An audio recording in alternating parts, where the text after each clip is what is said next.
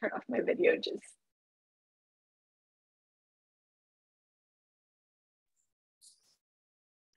Good afternoon, and thank you for attending today's webinar.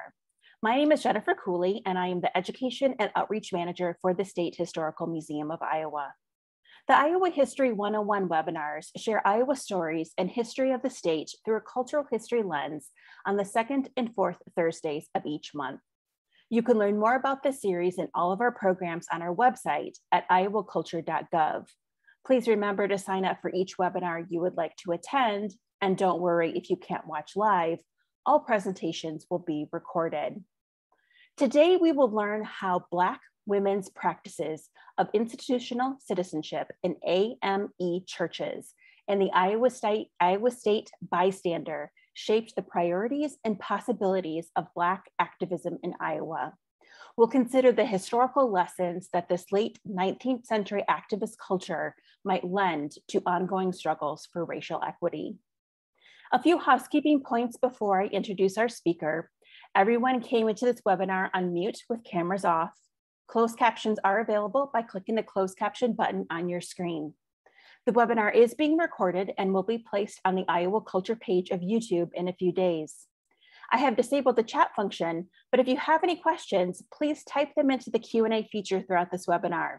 My colleague Matt Beyer is watching that feature and will prepare a list of questions for the speaker at the end of the presentation. But please note, we may not be able to get to all of the questions. Now I'm pleased to introduce our presenter, Mila Kaut. Mila is the doctoral, doctoral student in US history and a Mellon Cluster Fellow in Gender and Sexuality Studies at Northwestern University. Her research focuses on the intersections of race, gender, and public memory in the Midwest in the late 19th century. She's particularly interested in the relationships between historic preservation, commemorative culture, and the politics of citizenship since the Civil War and Reconstruction era. Mila completed her BA in History, Music, and Gender, Women's and Sexuality Studies at the University of Iowa in 2019. As an undergraduate, she co-organized the Iowa Colored Conventions Project, a satellite project of the Colored Conventions Project that aims to recover and teach the history of 19th century Black organizing in Iowa. Prior to graduate school, she worked to merge historical inquiry, community engagement, and policy development as a research fellow with the Iowa Campus Compact and City of Des Moines Department of Civil and Human Rights. And now I'm happy to turn it over to Mila to begin the webinar. Great, thank you so much, Jennifer. Um, and thank you also to the State Historical Society of Iowa for making today possible. And thanks to all of you for attending. It's a privilege to be with you all this afternoon. Um, so the title of today's presentation is Printing and Performing Citizenship, Black Activist Cultures in Iowa, so under this broad topic, we'll be focusing specifically on the intersections between church building, convention organizing, and print culture in Iowa in the second half of the 19th century. So to give you all a brief roadmap of what we'll be covering today, um, we'll start by looking at the African Methodist Episcopal Church building and colored conventions movements um, together. Um, and then we'll move on by looking at Afro-Protestant print culture and particularly the founding of the Iowa State Bystander in Des Moines. And then we'll close out by looking at the commemorative and expressive activist cultures um, really rooted in Des Moines and in St. Paul and in the bystander. Um, okay, so I'll begin today by explaining a concept I think will be useful for framing the presentation overall. Um, so the concept of Black parallel politics comes from the Colored Conventions Project and has been especially developed by one of its co-founders, literary scholar, Dr. P. Gabrielle Foreman. So it's a concept that helps us to recover the history of the Colored Conventions movement, which it was a national movement of Black political organizing that began in 1830 and lasted well after the Civil War. Um, this framing asks us to expand our sense of where a convention begins and ends, um, to ask what labor makes the convention space possible, um, to ask where the organizing begins and ends, who shapes the agendas taken up during conventions, and finally, who takes up the calls that are delivered by delegates and um, kind of makes them real through multiple avenues after the physical convention gathering ends. Um, this framing also asks us to um, consider what would happen if we were to decenter the interracial and oftentimes predominantly white narratives of abolitionist organizing that we tend as educators, historians, and so on and so forth um, to associate with abolitionists and civil rights organizing in the 19th century. Um, so here today, we are instead centering Black institution building, Black political thought, and the relationships and the circuits of development and mentorship that took shape through these processes. Um, so we'll be using this concept today as a framing for thinking about 19th century organizing, um, engaging it in the context of Iowa, where those white Underground Railroad and abolitionist stories have been so predominant in the classroom and in our historical and cultural preservation landscapes. So if we want to identify where Iowa's nexus of Black organizing took shape, we can begin by looking at the AME church building and convention organizing movements as connected in their missions, leaderships, and um, bases and strategies. The movements followed parallel tracks from their genesis in the 1840s with the organization of Bethel AME in Muscatine, and um, in the 50s with the convention that was then held at that church. Um, and they kind of followed these tracks through the end of the century. So we'll turn now to the earliest period of AME church building in Iowa, which began, as I just mentioned, in 1848 with the founding of the Bethel AME Church in Muscatine, Iowa. So a little bit of context. At this point, Black communities in Iowa were concentrated primarily in eastern river towns like Muscatine, Keokuk, and Cedar Rapids. Um, this is because of the economic prospects these primarily agricultural communities offered and because of the nature of the transportation routes available to formerly enslaved people who arrived in Iowa in the decades leading up to and following the Civil War. So formerly enslaved uh, freed people uh, constituted the majority of the population of many of these communities. Um, this changed by the 1860s and the 1870s when the communities were constituted both of those who had escaped or otherwise claimed their freedom long before uh, national emancipation and those who migrated to the upper Midwest after securing their freedom amidst the Civil War and Reconstruction periods. Um, so much of Iowa's earliest race work, including the AME movement and early campaigns for school desegregation and suffrage, was initiated within these river town communities.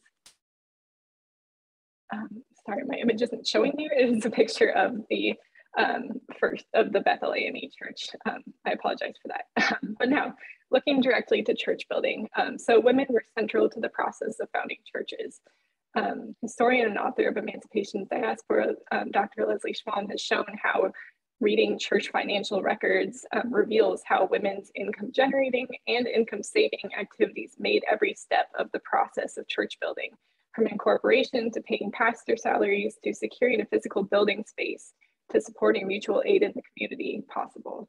Um, so the church building movement in Iowa gained traction through around 1889 with around 20 congregations forming across the state.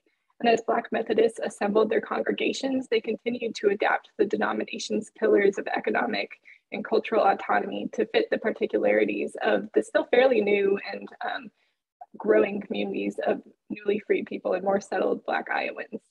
Um, it's also important to remember here that this statewide church building movement was unfolding in a larger context. The AME denomination itself was born out of the exclusion of Black Methodists from white congregations and the practices of racism that Black worshipers faced in and outside of those churches was a constant backdrop um, to the institution building that took root in Iowa and elsewhere.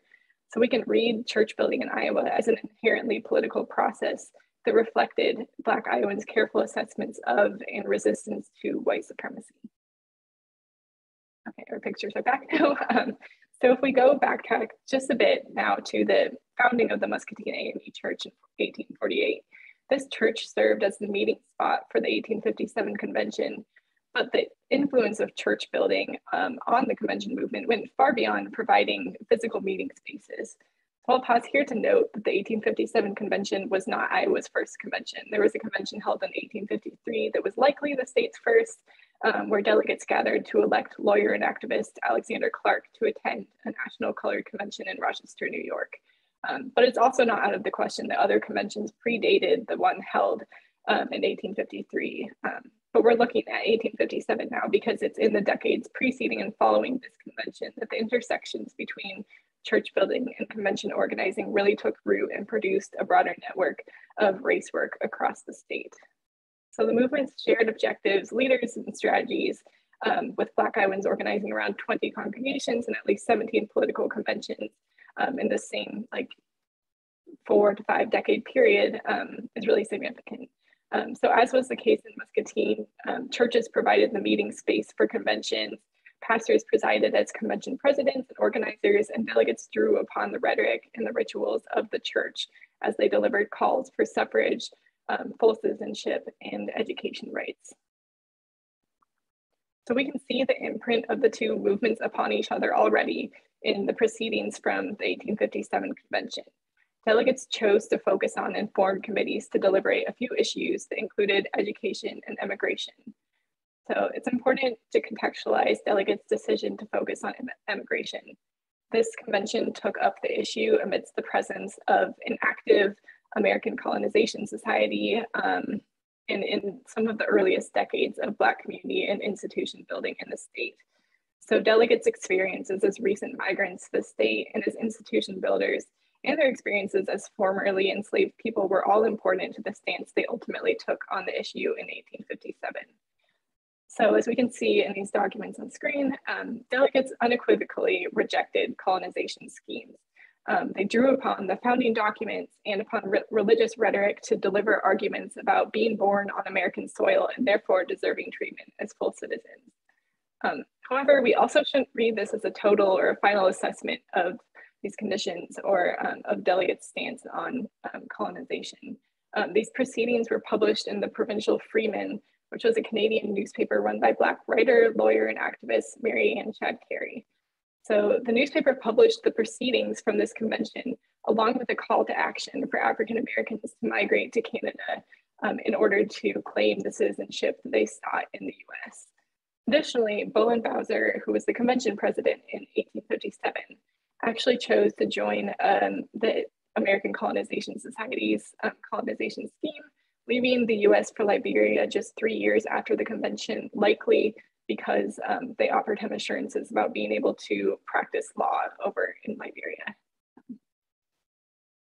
So we'll take a step back here now and ask, um, where are the women? So if you studied the 1857 convention through the convention proceedings and other documents alone, you would miss a crucial piece. Um, these documents impress the idea that women were absent from the formulation and the delivery of calls for education rights, for voting, and for other forms of um, equality.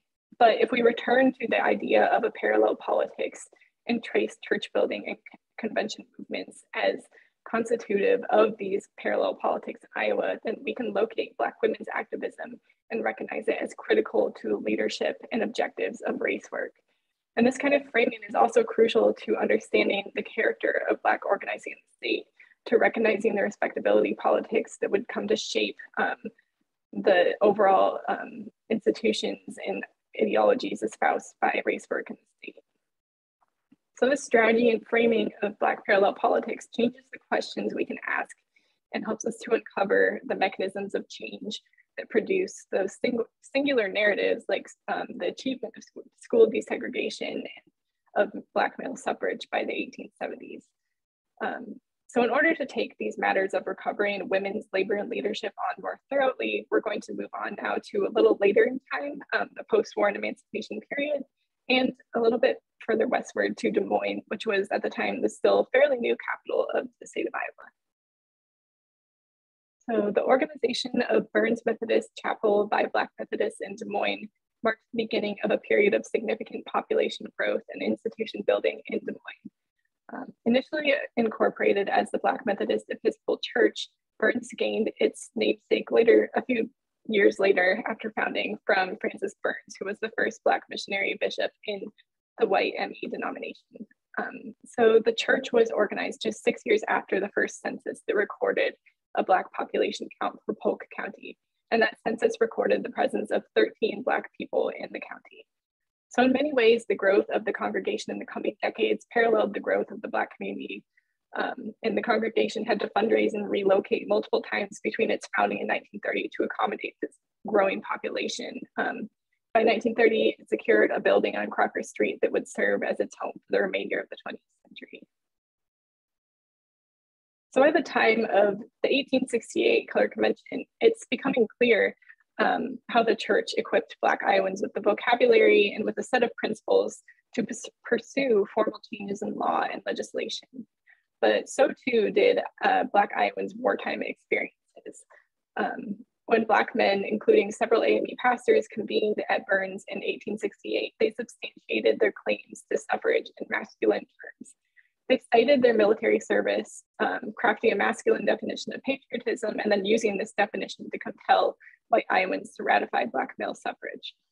We can see this especially um, in Alexander Clark's convention address quoted here, um, wherein he drew upon military service and uh, quoted from the Declaration of Independence and the Constitution to call for Black male suffrage as a staple of a masculine tradition of rights that was supported by founding documents and traditions. Um, so when we read this address and consider that the delegation was entirely male and headed by Burns Reverend S.T. Wells, um, we can see the masculine dimensions of the relationship between church and convention movements in Iowa. However, um, so masculinity was core to the notions of citizenship uh, leveraged by conventioners. But by recognizing church and convention spaces as intertwined um, we can pause here and ask where and how women made these activist spaces possible and how they might have shaped their agendas. Leads us to consider the spaces in between, um, the spaces that made the actual conventioning possible and where a broader community pursued and made real the demands leveraged by delegates in 1868. So when we look at these intersections, a few things become apparent. Um, Des Moines was becoming a key site for Black political strategizing and organizing by the late 1860s when the convention was held. Um, so itinerant ministers, correspondence to the Christian Recorder, which was the denominational periodical, um, and other prominent leaders had for years frequented Des Moines to attend church conventions, meet with elected officials at the State House, and assess the prospects and the progress of church building at Burns, which again was incorporated under the ME, not AME denomination. Um, so AME Reverend J.W. Malone declared that the AME seed was unfurling and sowing in Des Moines, and that the congregation at Burns was tired of being under the white folks. At the same time as um, denominational leaders and Black activists in Iowa were, were recognizing the need to organize in Des Moines, they were also facing an onslaught of challenges at Burns. I apologize again, the photo is missing, but this is um, the photo that was there was um, a clipping of a newspaper recounting um, racist vandalism at Burns. We'll touch on that in a minute. Um, so white authored accounts scrutinized the financial conditions of the church throughout the 1860s and 70s. Um, the white Daily State Register chose to magnify the church's indebtedness and they called upon white congregations in Des Moines to come to the rescue of their wording um, to save the church. Um, the church was also the target of racist vandalism in 1869, the year after the convention. Um, so the contested independence and the racist attacks on Burns ME in the years preceding and following the 1868 convention reflected the insufficiency of state laws and the basic protections of citizenship to confer something closer to civic and social belonging for Black Iowans. It also reflected the distance between statewide electoral support for civil rights and white Iowans' local treatment of Black Iowans. So all of this shows how the masculinized rhetoric and the calls for formal rights delivered at the 1868 convention in many ways just barely touched the surface of the le level of discrimination and injustice that Black Iowans were confronting on a day-to-day basis and challenging through multiple forms of activism. Okay, picture is back. Um, so out of all of this emerges a new church, um, St. Paul AME in 1872. So the continuation of the church building movement with the capital city of Des Moines at its center by the 1870s um, reflects the extent to which Black Iowans' political visions required multiple formal and informal, conventional and unconventional avenues to be realized. Um, church women were, again, central to the larger process of building a Black civic and political presence in Des Moines. Um, and the church was incorporated on October 9th, on October 9th by 17 founders, which included several women. Um, in many ways, the process by which this church was founded and organized aligned with the precedents that were set by church building across the state since the 1840s.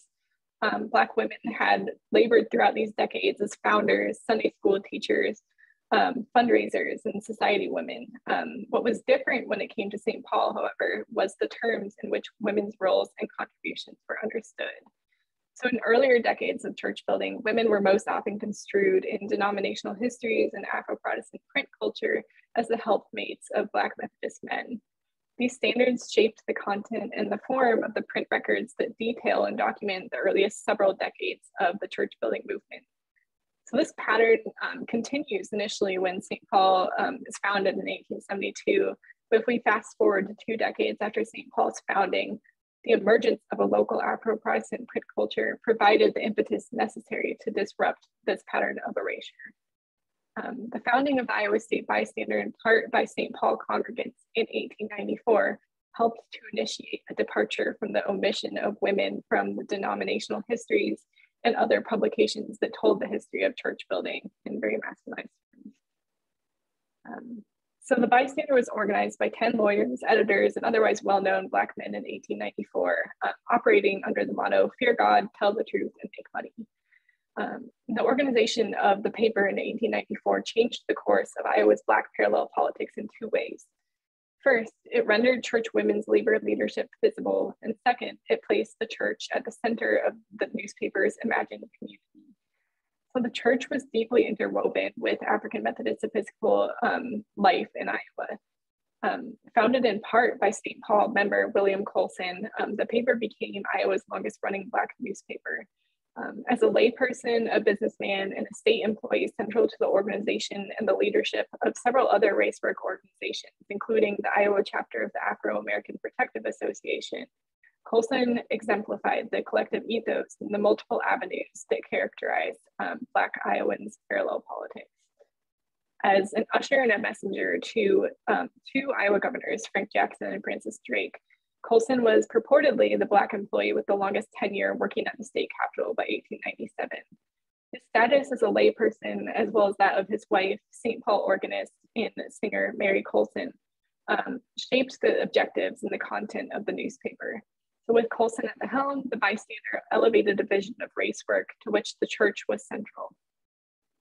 His repute as one of the best known Black men in the state and um, as a Christian gentleman and a race representative, these are all things that um, he was cast as in the newspaper. Um, these converged to form the basis of the politics espoused and the readership that was assembled by, this, by the paper's statewide circulation. So Colson is one example, but we can trace the relationships between the church and the newspaper deeper into St. Paul's lay community and the congregations across Iowa now. Um, so let's imagine a community composed of Black Methodist congregants and devoted to uplift and autonomy was not new or assembled solely through the uh, production of the newspaper. The paper instead functioned as glue for an existing infrastructure that had been created over nearly half a century by this point of statewide church building efforts. And then women shaped the contours of this imagined community, both as stewards and fundraisers and otherwise leaders in their churches, and then as correspondents to the newspaper. So each bystander edition included the variety of local, state, and national stories on labor, politics, and culture, and a hefty collection of advertisements um, that was typical of the newspaper genre at the time. Um, the paper additionally included in each issue a full page or more of reportings straight from communities across the state. I've included some examples here. Um, under headers like Oskaloosa Notes, Burlington Budget, and Sioux City News, the bystander would print the letters submitted by local correspondents um, regarding their community's affairs.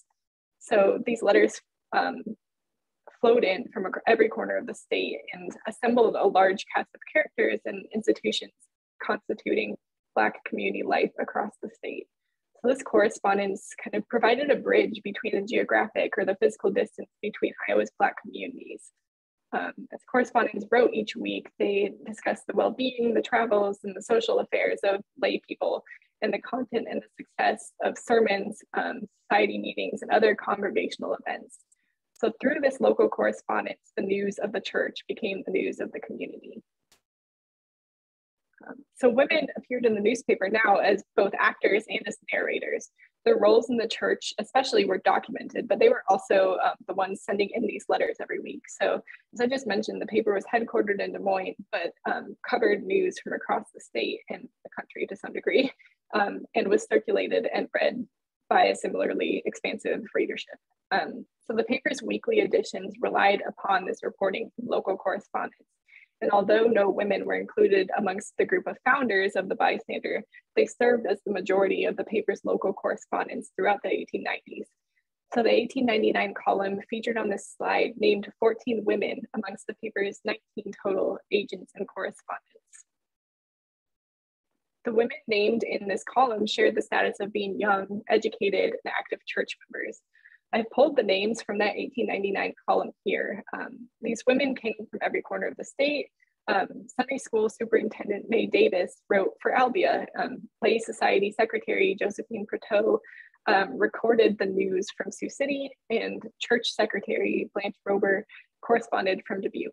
Um, while many of the women among the correspondents, including Florence White of Muscatine and Blanche Rober, were high school students at the time of their writing to the paper, several brought significant journalistic experience to bear.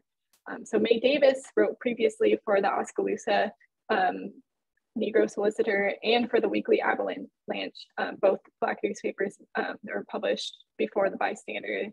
Um, Gate City correspondent Sadie Benton wrote and delivered papers before Sunday school conventions. Um, and um, Chariton correspondent Gertrude Urban was already an active elocutionist across the state. So these shared experiences were significant. Their proximity to the lay societies, to Sunday schools, and the other um, networks of relationships um, in churches um, shaped the positionality that they brought to bear as correspondents to the newspaper.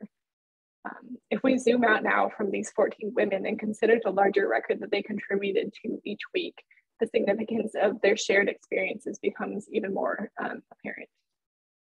So first, they were creating a record of church and community building that focused on relationships and the everyday interactions and labors that constituted lay life um, and in doing so, they were reconfiguring the individualistic and often patriarchal terms by which denominational life, history, and legacy um, had been narrated and understood. Um, so women correspondents instead narrated community news and history in relational terms. They communicated news in terms of relationships and networks. Um, and this was in many ways oppositional to the structures that dictated both AME and convention leadership. Um, and so in this reporting, they were revealing a more expansive view of the sites and the agendas and the strategies of a race work movement in which religious and political institution building and theorizing were in fact inseparable. Um, so if we consider what the bystander brought to nearly half a century of Black parallel politics via church convention organizing, we see how the paper drew upon shared values and networks um, built by this institution building. So they read and subscribed to and authored contributions for the bystander um, Black Iowans were knitting together decades of institution building across the state and forming um, something of a composite civic presence culture in the state. So women's predominance as local correspondents meant they held a critical role in shaping the bounds and the concerns of this imagined community. In applying the church's standards of decorum and sociability as parameters for who and what was to be acknowledged in the paper's columns, women correspondents established a through line between the religious and the political consciousness fostered through the paper. And the bystander also enables us to locate an especially important actor in Iowa and really the upper Midwest regions, um, Black parallel politics. And that actor is um, author and AME churchwoman Katherine Tillman. So um, Katherine Tillman was a writer since her high school days and a graduate of Wilberforce University in Ohio. Um, she began publishing her work by 1887, and um, these educational credentials, along with her status in the church as an active lay member and a society woman, and as wife to Reverend George Tillman, um, shaped her entry to the public debates and the larger readerships of the Black press. Um, so if we look back at the bystander and um, its 14 women correspondents, um, many of those correspondents did not go on to become authors of the status or the wide acclaim of Tillman, but it's still important to read their lives and their writing careers together. We can see how um, Katherine Tillman's regular column in the paper by 1897 functioned as a reflection of the success of women correspondents since 1894 in carving out public space and a forum for church women's concerns, labor, and leadership in Iowa. Um, so Tillman's work also engaged the collective and relational terms that bystander correspondents had for decades used, or yeah, um, to narrate and interpret community. Um, the difference was that Katherine Tillman applied these terms to the past.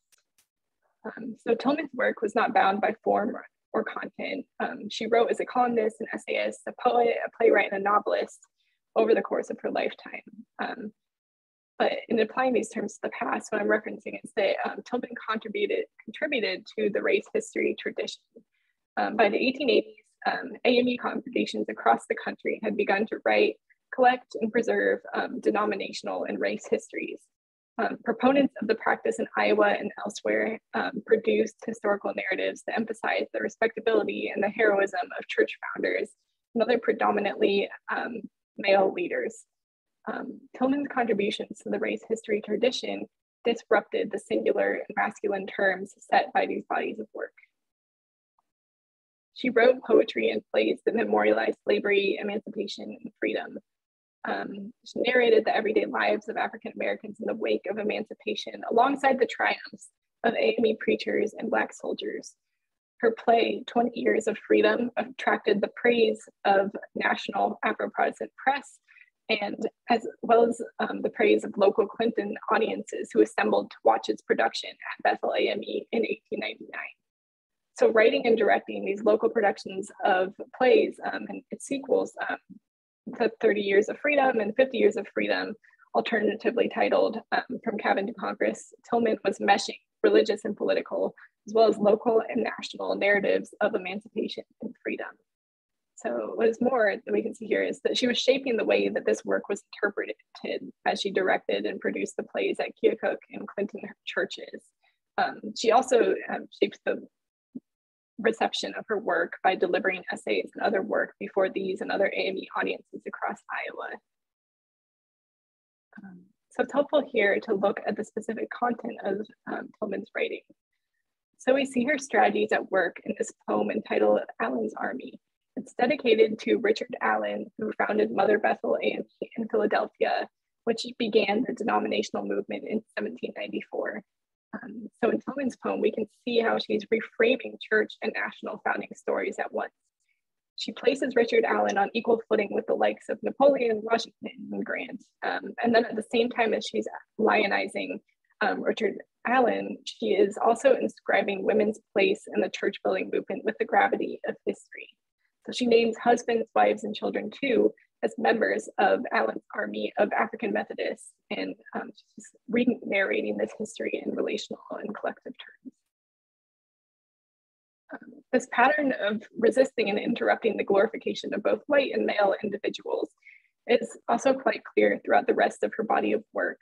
Um, we can see it also in this poem, which is an homage to Ida B. Wells. Um, so this poem reflects Tillman's practice of what scholar um, Dr. Brittney Cooper has defined as a Black feminist tradition of listing.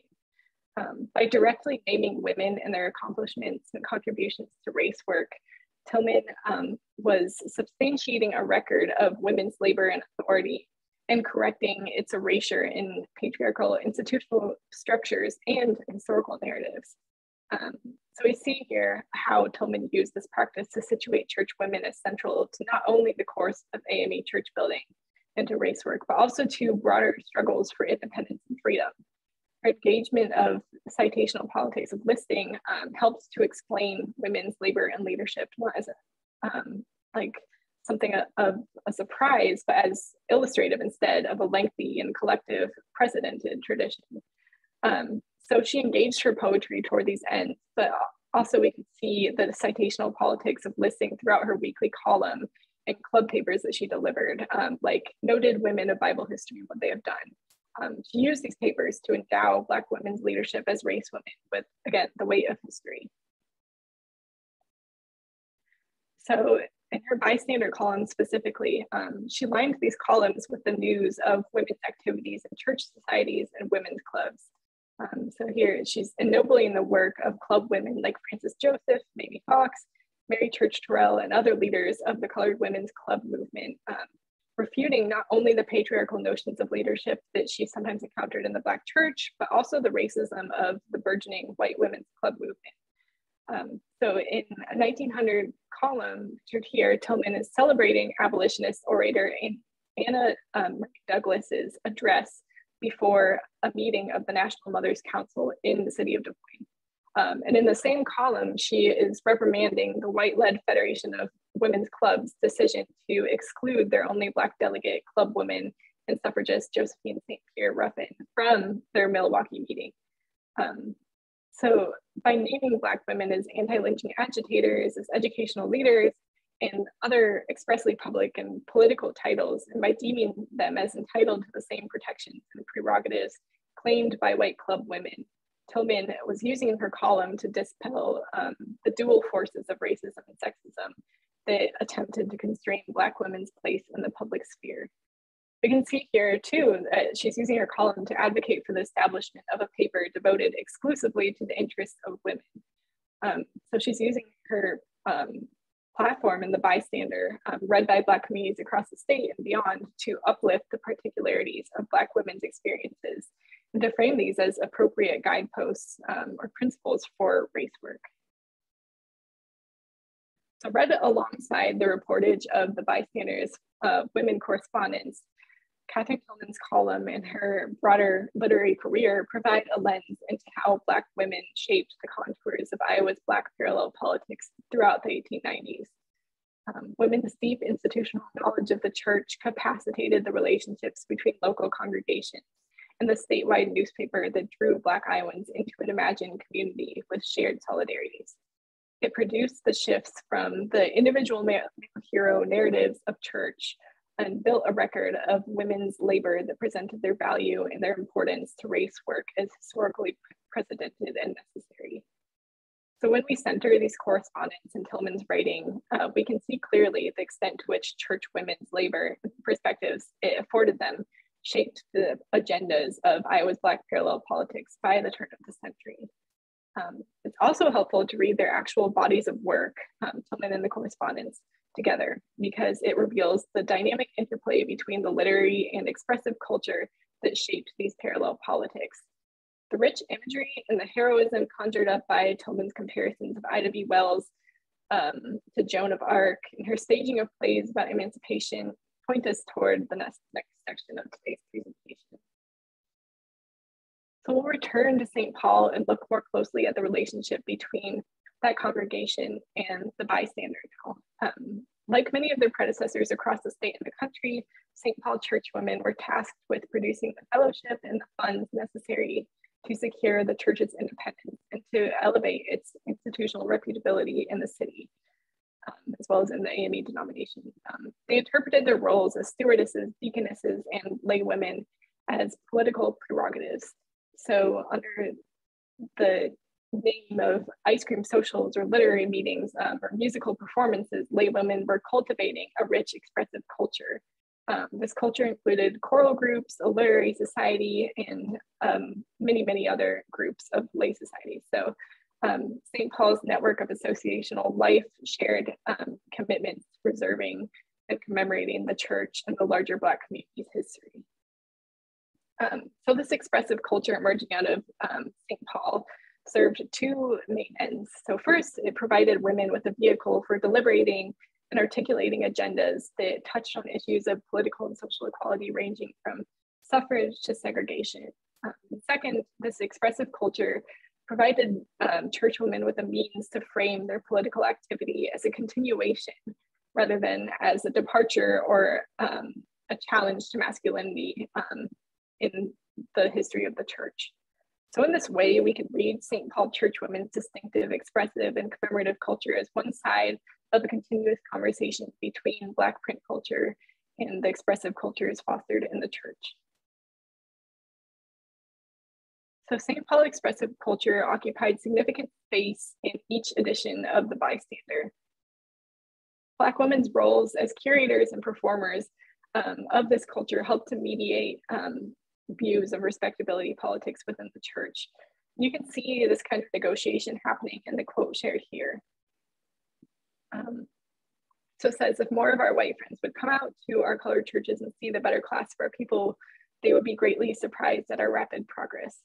So reporting like this in the bystander reinforced the careful negotiations that were conducted by women by reaffirming the church's role as a sort of arbitrator of community decorum and as um, an institution that could shroud the tensions that, and the disagreements that often surface in, in organizers' deliberations apart from the public view.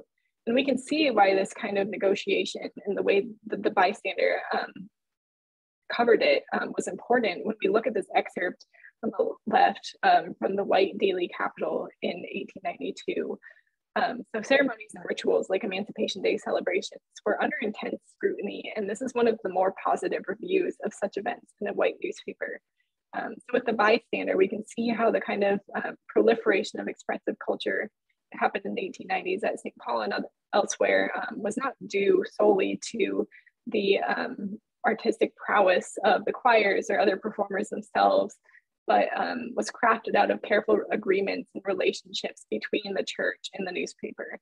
Um, so the paper's reportage on events like song services and other fundraisers um, helps to reveal the ends to which lay people were using expressive culture.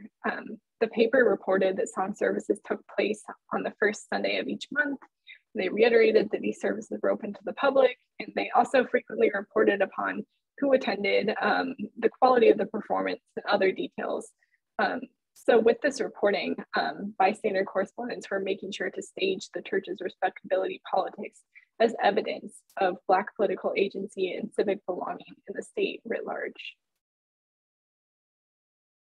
So by curating and staging Black commemorative culture before interracial and oftentimes predominantly white audiences, St. Paul church women were delineating the bounds of respectability politics while also establishing um, the public nature of their roles as arbitrators of th these politics. Um, so they used two main strategies or mechanisms to this end. So first there was a programmatic element and second a fundraising element. So if we start with the programming, um, song service and other events um, were, um, their program agendas were filled with musical literary selections that um, preserved the distinctiveness of AME traditions um, and of specific local um, Black histories, while also translating select dimensions of these traditions, these histories, into targeted and often um, political messages for attendees. Um, so they included hymns of the white Protestant tradition alongside sermons and musical selections that were composed and delivered by Black pastors and musicians. Um, this combination of programming helps these programs to serve as artistic stagings of Black parallel politics that navigated um, between institutional belonging and community autonomy in the state and um, civic equality, civic and social equality um, for it within a predominantly white setting.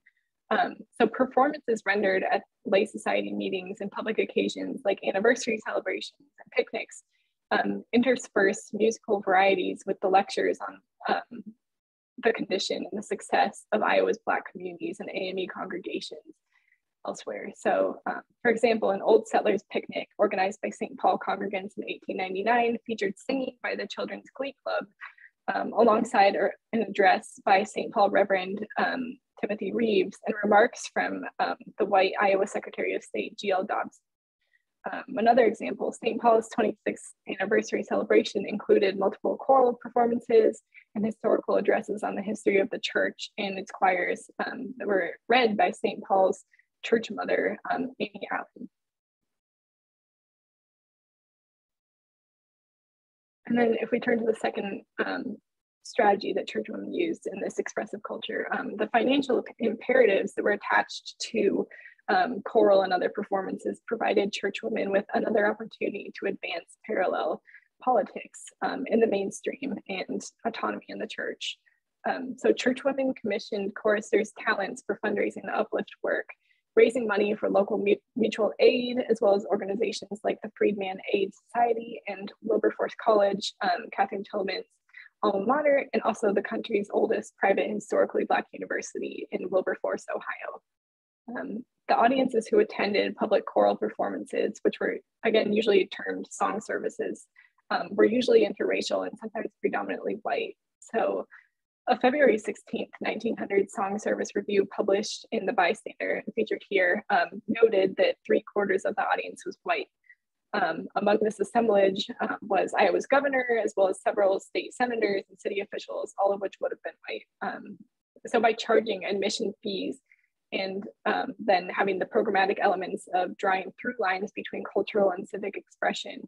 Church women were enlisting these interracial audiences and witnesses um, as compatriots um, in intervening in a predominantly white civic sphere and in um, making space for Des Moines' uh, burgeoning Black civic sphere and um, making their case for equality and belonging in the state.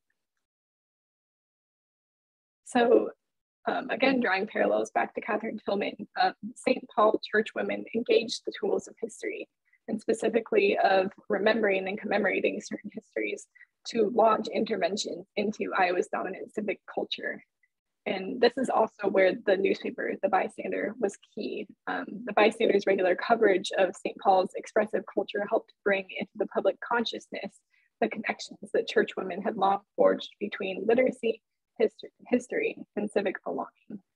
Um, the newspaper presented St. Paul women's stagings of longstanding traditions like Emancipation Day celebrations as strategic interventions into Iowa's dominant political culture. So, in the wake of the Civil War, Emancipation Day celebrations had emerged across Iowa as the primary cultural form um, for um, enacting citizenship existed beyond the ballot box, um, beyond voting. So these were these celebrations were not new by the 1890s. But in acting as primary orchestrators of these events in the 1890s, St. Paul church women were straddling the challenge of shaping experiences and the interpretations of both the audiences who assembled to partake or to watch the events and of the readers who would encounter the events through the pages of the bystander, but also in the pages of local white newspapers. Um, so in organizing these celebrations, St. Paul women were weighing the meanings of slavery and emancipation for Iowa, and emancipation for Iowans. Um, they were wielding control over the public narratives that emerged through recurrent celebratory and commemorative exercises. They performed roles that um, coupled femininity with patriotism, and they um, used these roles to intervene in traditional narratives. Um, so they were foregrounding their own contributions, their experiences, like in this clipping, in these two clippings we see here from celebrations. Um, so we see here how Black women like Beatrice Hicklin in 1897 um, were crafting their images as active agents in local, local as well as national um, Black freedom struggles. And what is more, they were, um, like Katherine Tillman, positioning these struggles um, in the church um, in Iowa as extricable from the nation's history and the nation's founding narratives. So then when we turn back to the bystander, the bystander's narration of the visuals and the characters put together by these women helped to render their performances and their interventions into a broader public consciousness. Um, so by curating rituals of performance and remembrance alongside visual culture, um, women organizers were staging interventions in both the commemorative tradition of American history that were dominated by white Iowans' memories and allegiances and um, those masculized race histories. Um, so there was a direct relationship being forged here between memory and politics. Um, church women's efforts to reframe dominant landscapes of Civil War and emancipation memory was meant to be instructive for the race work organizations in the direction that they were taking um, and formulating in and outside of the church by the turn of the century. So we'll now take a look at some of the institutions that really exemplified the fusions of institutional citizenship and public memory that were stewarded by church women in Des Moines um, in the 1890s. So I'm going to again use St. Paul and this time um, the Paul Dunbar Literary Society or the PDLS um, that was led by St. Paul congregants as kind of a microcosm into this fusion. Um, so the PDLS adopted its constitution and bylaws and it elected its first slate of officers in 1897. Um, the structure of the organization and its activities um, modeled the connections that church women had drawn for decades between literacy and citizenship. Um, Black women held five of the society's eight officer roles upon founding um, that used these positions to advance the interventions that they had begun to make through um, this combined fusion of expressive and print culture. Um, so the PDLS's focus on reading, debate, and elocution, or reading papers, debating, um, enabled women to practice forms of self-representation in um, a political sense more explicitly. So as they occupied the ranks of PDLS leadership and membership, uh, church women focused the society's agenda squarely on addressing the oppressive conditions and the insubstantial citizenship afforded to Black communities in Iowa and elsewhere in the nation. Um, so using debate, music, um, and sometimes question box exercises, they would address matters ranging from colonization to lynching in the South. Um, and women use these exercises to expand their interpretations of the challenges experienced by local communities with which they were familiar um, to encompass Black communities across the country. Um, they requisitioned local, state, and federal authorities to further their cause. Um, deliberating these matters through formal debate, um, which was a practice that was typically reserved for men, and through carefully curated musical performances, um, the Literary Society women enacted a form of citizenship that was grounded in collective literary practices. So we can contextualize the um, Paul Dunbar Literary Society um, in Des Moines, both in the broader slate of literary societies that organized in the country since the early 1820s and in the flurry of society, club, and other race work organizing that was taking place in Iowa by the turn of the century.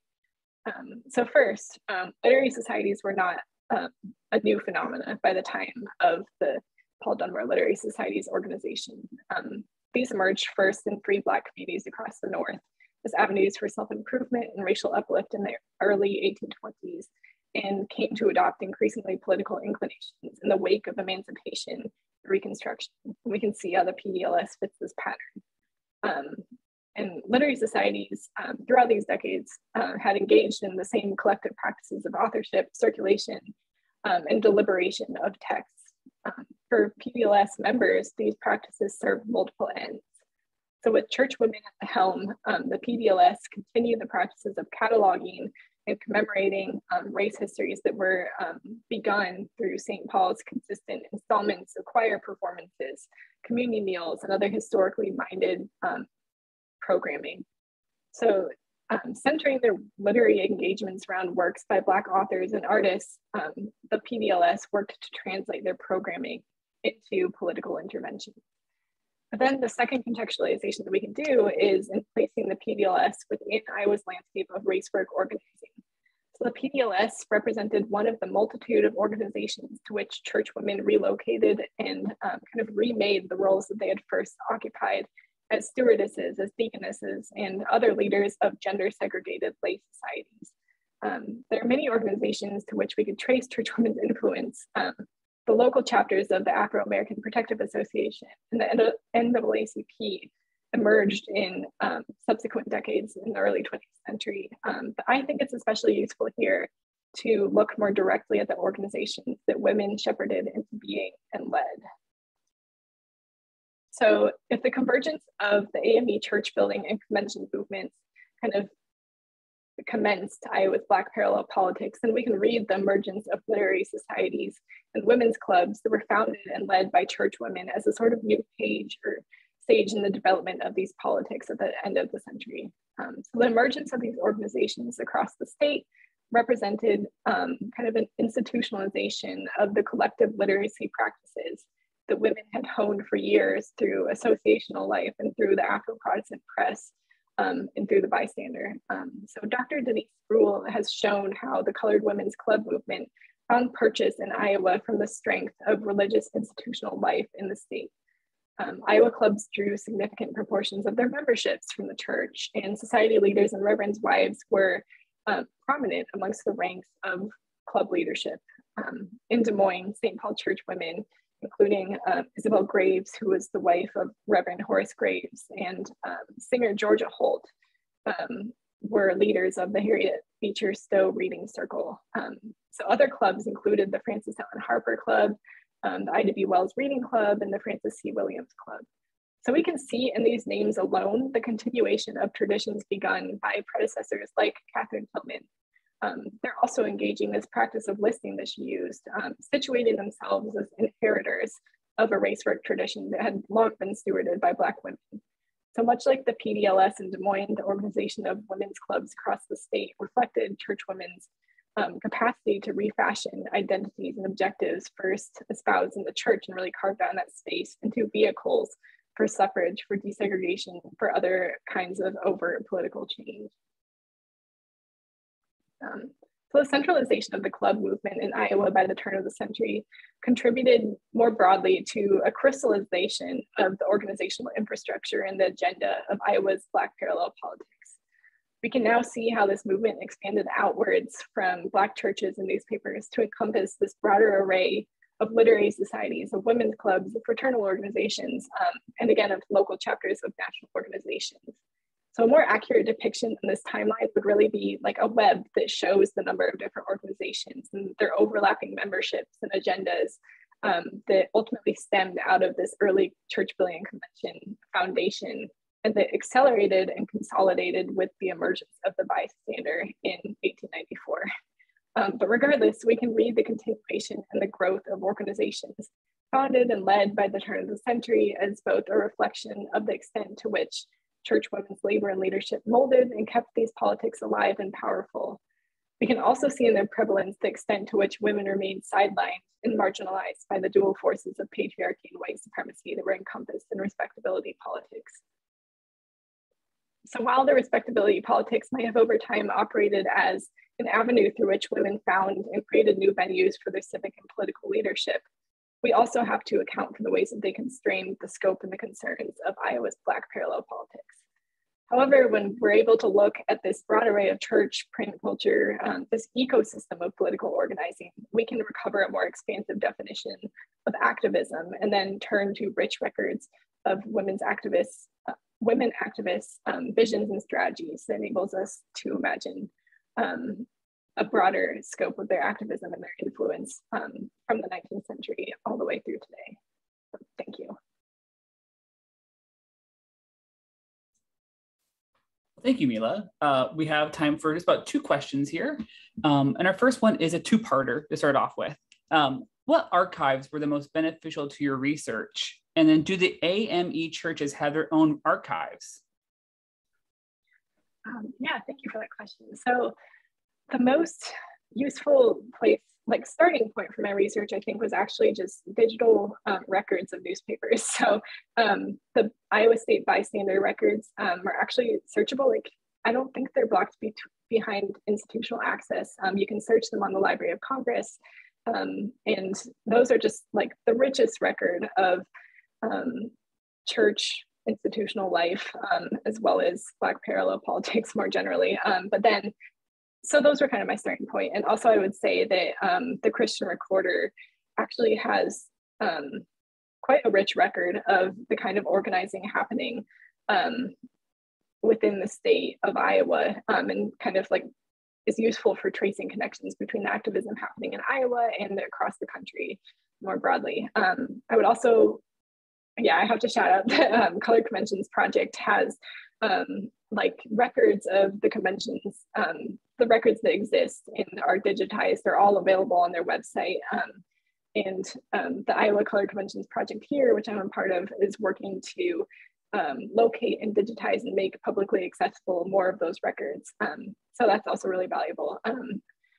I think there is an official AME church archive um, I believe it is in it is housed at Bethel AME. Last I checked in um, Philadelphia. Um, for this project, I actually visited um, the archives at Wilberforce College, um, Payne Seminary, um, and that's where I found a lot of really interesting materials about Katherine Tillman. Um, I think all of her plays, the like 20 years of freedom and its sequels, they're all located there. And there are also some of the race histories I mentioned at that archive. Um, but in terms of AME archives more broadly, I think that um, there is like that national one, but you'll find a lot more um, at just like local, um, at the local archives, depending on what specific church or what region you're looking at. Thank you. I will also add that the Colored Conventions Project's digital records will be included in our follow-up email for our participants today. Um, and our last question today is, where can we find your research? Um, yeah, so I am currently working on turning this research into an article for the Annals of Iowa. So um, that is in the works, um, under review and revision. Um, so hopefully um, within the next couple of years that will be out. Um, so the other thing that I'd mention is um, as a member of the Iowa Colored Conventions Project, we are finishing up an exhibit on the 1857 convention, and hopefully that will be accessible to all soon. Um, and we also try to um, just like we're trying to build a, a broader base of archival and um, like interpretive materials. So um, yeah, I would say keep an eye out for that in the next year too. Um, yeah, other than that, um, I am a PhD student right now, so hopefully I will have an article out of some other variety in the coming year. But those are the main things. Thank you for asking. Of course, that's fantastic. We'll, we'll keep our eye out for it. Uh, and with that answer, we will bring this webinar to a close. Uh, thank you to everyone joining us today. And I would like to extend one last thank you to our presenter, Mila, today. Thank you so much. We hope everyone will sign up for the Iowa History 101 webinars that take place on the second and fourth Thursdays throughout the year. There are many great stories from Iowa's past to tell in the upcoming months. Now, for more information and to register for future webinars in this series, please check out our website at iowaculture.gov. This webinar and past presentations are available on our website as well. And, and while you're there, you can look into some other fantastic digital programs we have, such as our Goldie's Kids Club programs for young historians, or watch video recordings of the Iowa Story series, which is hosted by our Iowa City branch. We look forward to virtually seeing you all here, right here again on Thursday, July 28th. Thank you all again for joining us today and have a great afternoon. Thanks, everyone.